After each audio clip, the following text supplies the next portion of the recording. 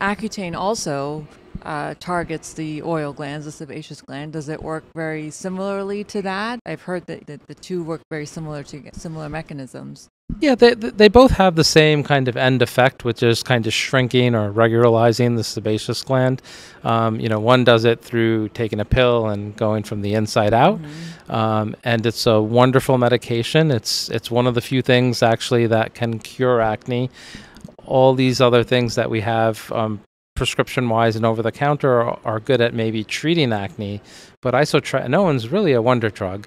Now, it, it is highly regulated in the U.S. There's um, um, you know, quite a bit of regulations with um, lab testing, pregnancy testing for yes. women, um, because of the uh, the the poten- potential side effects of it. Mm-hmm. Um, and unfortunately, there's a lot of misinformation um, that's also out there, right? Um, so you can find a lot of people talking about, you know, the the, the psychiatric impact or how it affects and changes their body, and some of the concerns are valid, but there's a lot of misinformation the the way the 1726 laser works, it also targets the sebaceous gland, but it's more through this um, you know this magic bullet kind of going from the outside in. You're not doing anything systemic, but you're delivering a laser that heats up the sebaceous gland and gets it to shrink down. Mm-hmm, mm-hmm.